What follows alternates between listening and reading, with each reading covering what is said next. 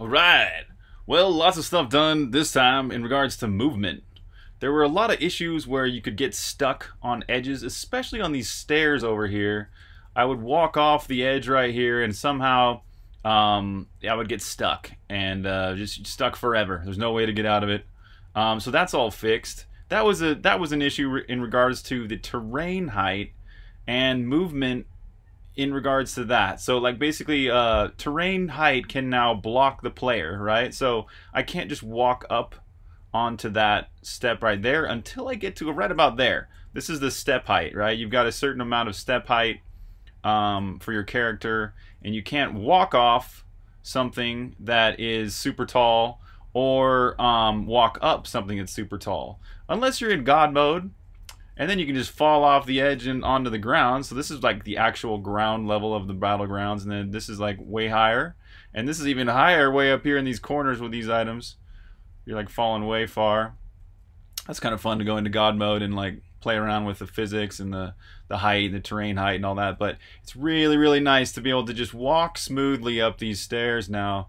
There were a lot. There was more issues too. There was another issue where um, where I was standing in a corner right here. I would start moving down to the left and then move directly down to the left, and the player would start bouncing, like bouncing to the left and creating this really weird look. Um, and that was just to do with pathfinding variables. This, so it's sort of we have this sort of quasi pathfinding. Let's see. Let's go over here and I'll show you what I'm talking about. If I go into something like this and I walk straight at this pillar right here, the player is going to see how the player moved upward to get around that. That's because my last direction I moved up or down was up. And so it decided, hey, I've ran into something right here, so let's move the player up to go around it. If I had my if my last movement had been down and then I hit this, it would move me down around it. So it's kind of like pathfinding without actually running a pathfinding algorithm. It's just sort of like relying on the last direction that you, you were moving in. Um, so that's always been in place, but it's a lot better now. It's a lot more refined, allows you to smoothly walk around these edges and stuff. The next thing I did was to make sure these teleports are a lot more, they feel better now. So basically it teleports you right in front. It used to teleport you like accidentally off the side. and uh, that was funny. But now they uh, they look a little bit better with these particles, but they also kind of teleport you to the right position. And also you can tell the camera moves, but it moves really quickly. So compared to regular movement, as I move around, it takes a second for the camera to move to my new position. Um, but with the teleport, it actually moves a lot faster so that you can really see real fast. There's still an issue here with these um, these these uh, voxels getting left behind.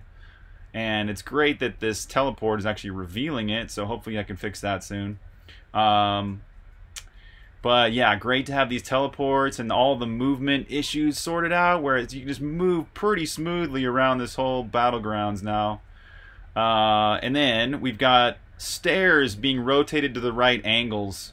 So um, all the stairs in the whole battlegrounds are now rotated to the right angles. They used to be all be rotated to the same one. They're all like 90 right? So these these didn't look right, and um, lots of the stairs around the whole level just didn't look right at all. But now they all got a nice slope in the direction of the staircase, and uh, that's pretty satisfying.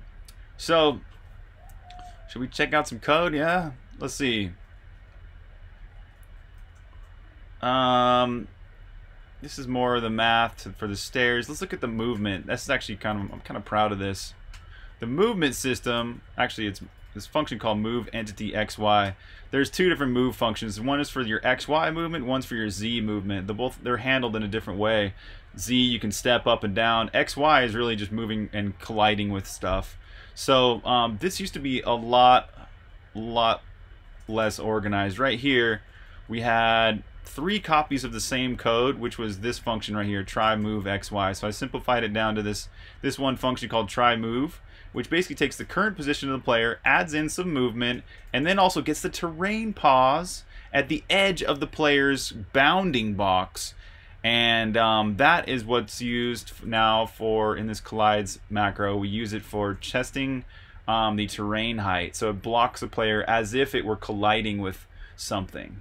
Uh, but it's really just terrain height that it's colliding with. So that's that. and that's a lot more organized. And this, it really, the, all the bugs I was talking about where you're getting stuck on things were had to do with pathfind this pathfind variable right here. Um, this needed to be the right sign right there. That needed to be also be the right sign on the Y. And then, of course, these terrain offsets were a huge part of making this right.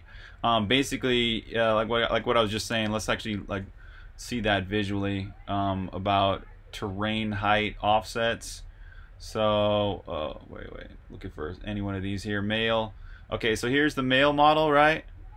And um, the offset, let's add in a pixel where you can see, or voxel. This is like about the middle of the model, right? Um, so when the player is moving directly down, let's let's draw in actually the bounding box. The bounding box, this is really janky and not exactly square, but that's what it kind of looks like, right? It's like a square surrounding the player.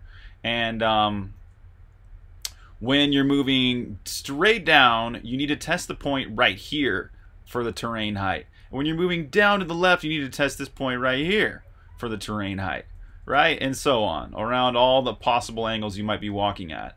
And that's what this is doing, is basically um, getting the right terrain offset for every single one of the vectors it could possibly use in this algorithm of movement on the XY plane.